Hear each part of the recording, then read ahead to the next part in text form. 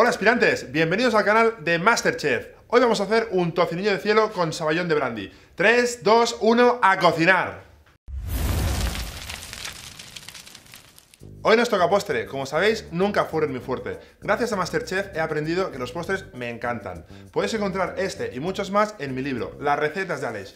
Así que vamos al lío. Los ingredientes que vamos a utilizar son azúcar, almendra molida, agua, brandy y huevos. Yo me acuerdo de pequeño cuando llegaba mi madre a casa con esa bandejilla de tocinillos entera que no llegaban ni al postre. Así que vamos a empezar con la receta. Empezamos haciendo un caramelo un poco rubio sin que se nos llegue a quemar, así que mucho ojo. Vamos a echar 50 gramos de azúcar y unas gotitas de agua. Vamos a darle un poco de fuego, removemos un poquito que quede todo bien mojado. Voy a echar un poquito más de agua, que nos quede todo el azúcar bien mojado. Eso es. Así nos tiene que quedar, perfecto. Esto lo dejamos hasta que veamos ese color rubio que queremos y será nuestra base para el tocinillo. Mientras tanto, vamos haciendo el almíbar, que vamos a utilizar 300 gramos de azúcar y 150 mililitros de agua. Con este almíbar lo que queremos es disolver el azúcar y llevarlo hasta 108 grados. Así que con nuestro termómetro vamos a ir controlando la temperatura. Ya tenemos nuestro caramelo a punto. El color que buscamos es este. Es un rubio clarito, así que vamos a ponerlo ya directamente a nuestra bandeja. Y esta bandeja nos va a servir de molde para nuestro tocinillo de cielo. Y lo repartimos uniformemente por todo el molde.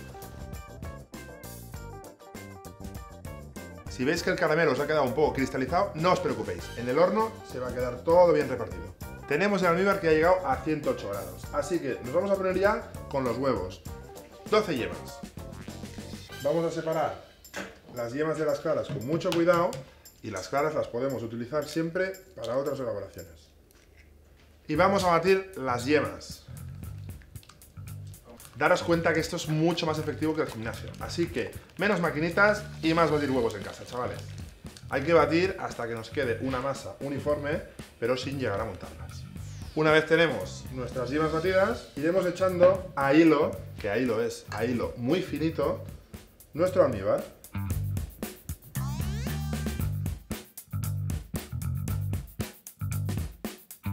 Una vez tenemos todo bien mezcladito, lo vamos a echar directamente encima de nuestro molde.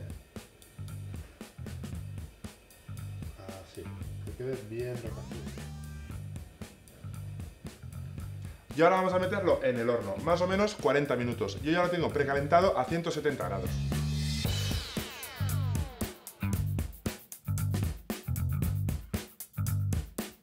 Vamos a empezar con nuestro saballón. Un saballón un poco es una emulsión en forma de crema, nos va a quedar pues una textura pues muy buena en la boca. Para ello vamos a utilizar un baño maría. Yo ya tengo aquí una olla preparada con un poquito de agua Vamos a poner un bol por encima y vamos a utilizar 6 yemas de huevo. La técnica del baño María la utilizamos bastante porque podemos dar calor a un producto sin llegarlo a quemar. Va súper bien en cocinas.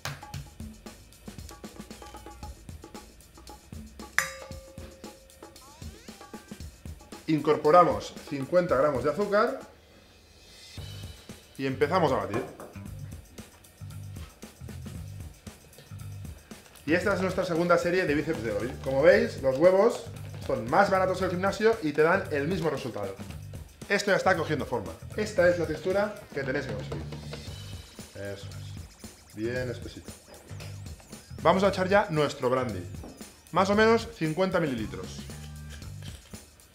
Lo vamos a poner poco a poco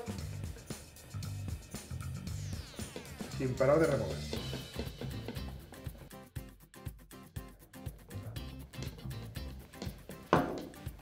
Removemos bien con energía. Y con esto tenemos nuestro saballón a punto. Vamos a ver cómo está nuestro tocinillo.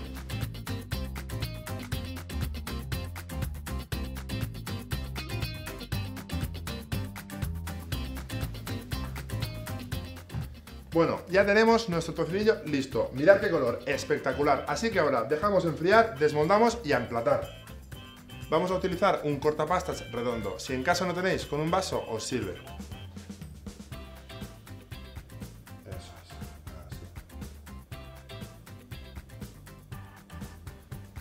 Disponemos del tocinillo en el plato.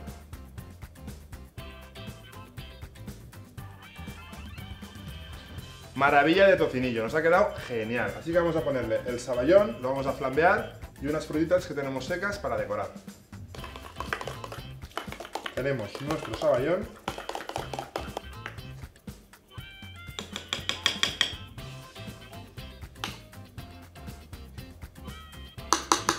Colocamos nuestras grosellas y nuestras frambuesas deshidratadas. Flambeamos el saballón.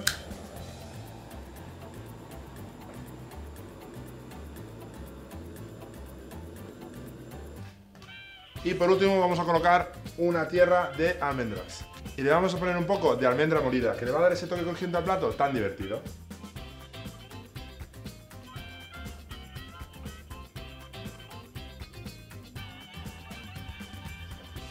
Y para rematar, un poco de menta.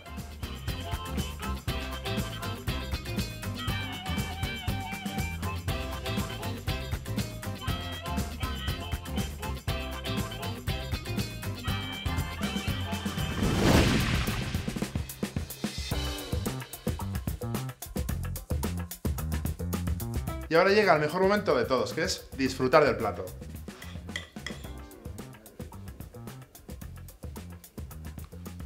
Buenísimo. Me recuerda a mi madre, a mi infancia. A partir de ahora, los y yo, amigos para siempre. Si os ha gustado esta receta, ya sabéis, está en mi libro, Las recetas de Alés, esta y muchísimas más. Si habéis disfrutado de este plato, ya sabéis, suscribiros al canal, dadle a like, compartidlo con vuestros amigos y dejadme en comentarios cuál es el postre que más os gusta. Y como siempre, ponedle sabor a la vida.